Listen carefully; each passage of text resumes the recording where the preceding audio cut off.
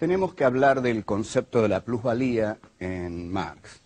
El concepto de plusvalía es central en el pensamiento de Marx, así que habría que tratarlo detenida y cuidadosamente. Para eso entonces voy a, voy a tener que apoyarme eh, más de lo habitual en mis notas.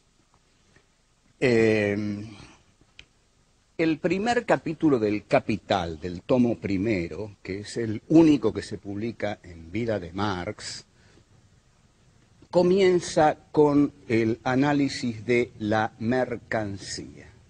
Marx encuentra, prestemos bien atención a esto, Marx encuentra dos aspectos en la mercancía, el valor de uso y el valor de cambio.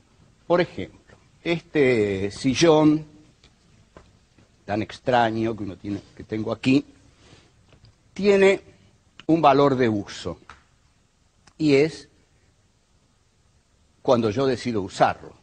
Decido usarlo para mí. Entonces, si lo uso para mí, lo uso para mí, me siento y lo que tiene el valor de uso es que en la medida que usamos las cosas, las cosas se gastan y en la medida que se gastan, este, no tienen ya eh, ningún valor, solo sirven para usarlas. Este es el aspecto que tienen las mercancías como valor de uso, sirven para ser usadas.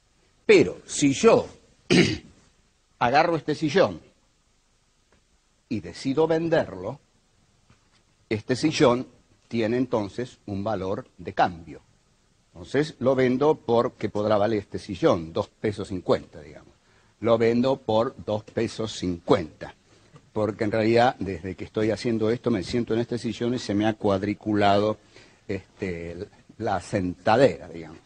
Entonces lo vendo por, bueno, tres pesos cincuenta. Eh, ese es su valor de cambio. Entonces este sillón tiene dos, es una mercancía, esto es una mercancía, una mercancía. Tiene un valor de uso que es usarlo y tiene un valor de cambio que es eh, venderlo. Bien, esos son los dos aspectos de la mercancía. Ahora, ¿cuál es el valor? El valor de la mercancía. ¿Cuánto vale este sillón? Bueno, este sillón vale tanto como el tiempo de trabajo socialmente necesario para construirlo. Entonces, Para construir este sillón, el capitalista en el mercado eh, encuentra a el obrero. Es decir, son dos personajes que van libremente al eh, mercado de, trabajo, de oferta, de demanda. Aparece uno que eh, tiene el capital y otro que no lo tiene. El que no lo tiene, lo único que tiene es su fuerza de trabajo. Si yo, que no tengo capital, mi único capital, es mi capacidad de trabajar. Entonces viene el capitalista y dice, yo tengo capital. Yo no tengo necesidad de trabajar, pero necesito a alguien que trabaje para mí. Y si usted trabaja para mí, con mi capital, yo le voy a pagar su trabajo. Bueno, todo esto parece fantástico, entonces los dos van a la fábrica de hacer sillones. Una vez ahí, tenemos que determinar cuál es el valor el valor de la fuerza de trabajo. Porque, ¿cuánto vale el valor, es decir, cuánto vale el trabajo del obrero que hace ese sillón? Entonces, Marx va a decir, el, el valor de la fuerza de trabajo es equivalente a todo aquello que sea necesario utilizar para mantener viva a la fuerza de trabajo.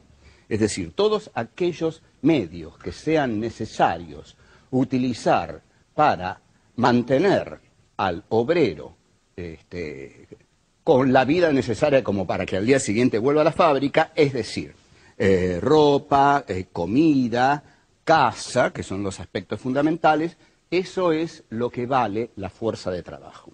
Entonces digamos que al capitalista le sale este, 40 pesos mantener al obrero y le paga 40 pesos. Ese es el salario del obrero. Ahora bien, pero sin embargo hay algo que el obrero no sabe y es que en las horas en que él trabaja no produce solo 40 pesos, produce 75 pesos.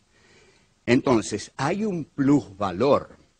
El obrero produce el valor necesario para pagarle su fuerza de trabajo, para que el capitalista le pueda pagar su fuerza de trabajo, pero además produce 35 pesos más de los cuales se queda, con los cuales se queda el capitalista. Esto es lo que Marx llama plusvalía. O sea, la plusvalía, como verán, no es nada complicado. La plusvalía es ese plus que queda cuando el capitalista le paga al obrero un salario. El salario debe cubrir todo aquello necesario para eh, alimentar y sostener la vida del obrero. Pero el obrero, al trabajar, produce un plus.